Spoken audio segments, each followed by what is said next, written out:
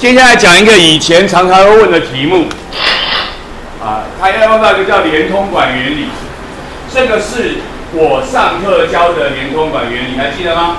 相连通的同一个液，同一个水平面上压力必相同。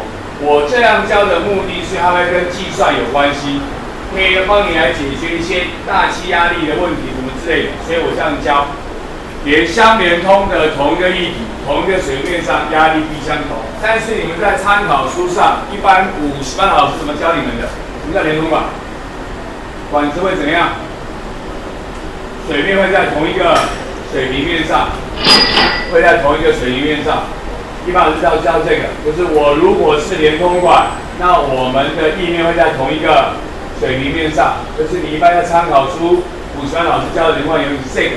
这也是我待会用，这个也是我等一下要用的东西。我会在同一个水平上，这也是我等一下要用的东西。OK。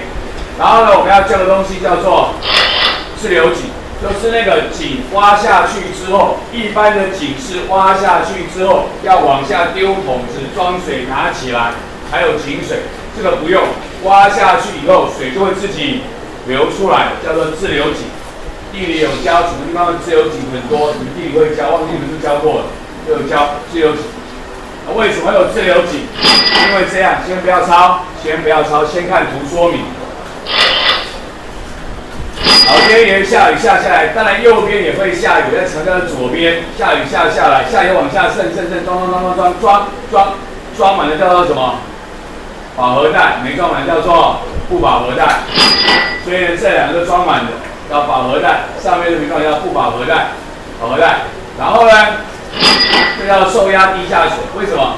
它上面有个不透水层，下面有不透水层，然后压在中间，这叫做受压地下水。然后上面这一块叫做自由地下水。好，上面的这一块呢，称之为自由自由地下水，它就是没有被限制的，就这里叫自由地下水。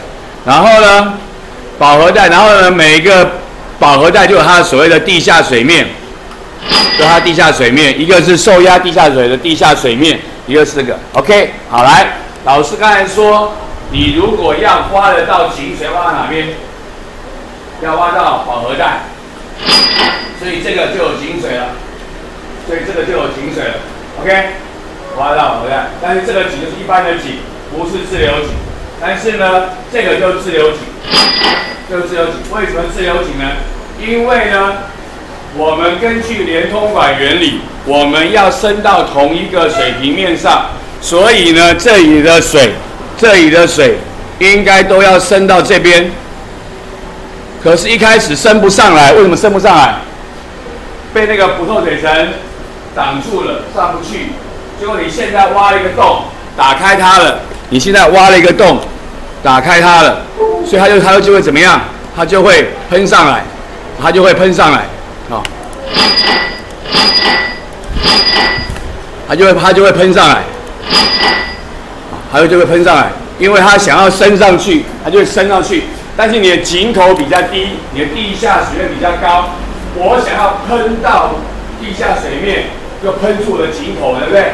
所以我使用自己就流出来了，叫做所谓的自流井，叫做自流井。但是呢，像这一口井。这口井有没有挖到受压地下水？有，它是不是自流井？不是，为什么？因为它地下水位比较怎样？地下水面，它井口比较高啊，它升到地下水面还没有到井口啊，所以没有自流，就它不是嘛。所以待会要跟你讲它的条件。所以这就是我们这里跟你讲的话。啊，我们有一个良好的含水层，上下都有不透水层，那就形成受压地下水。啊，我如果开了一口井，如果我的井口比受压水面低，根据所谓的连通管原理，我就会喷上去，就会流出来，我们叫做所谓的自流井，就是自流井。啊，这个题学测考过，在学测考的时候考一个比较没水准的考法，他问你要怎样有受压地下水。上面透水，下面不透水；上面不透水，下面透水；上下都不透水，上下都透水。你来看什么？上下各有一个不透水层，这样子。OK。那重点有个受压地下水，那如何才会有自流井？井口要比受压水面来的低，什么原理？连通管原理。这个图，OK，换一张图的意思一样，这个图的意思一样。下面有个受压地下水，上面有个自由地下水，左手右手这个前井都是挖到上面自由地下水一般的井，中间有一个非自由井的深井，它挖的好深，可是它有没有自由井？不是，因为它的井口比较高。因为最右边一个叫自由井，为什么？因为水面比井口来的高，它就会流出来。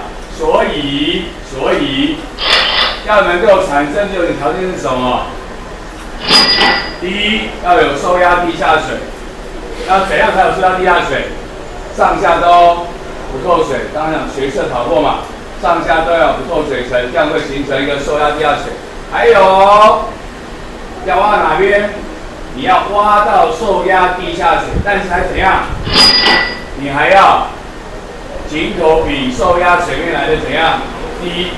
地下水位比较高，这样你才会形成自流井，这还会形成自流井。要自流井形成的条件，要说自流井形成的条件，请你要能够晓得，OK 吗？可以吗？可以吗？OK 吗？好。有人问题吗？没。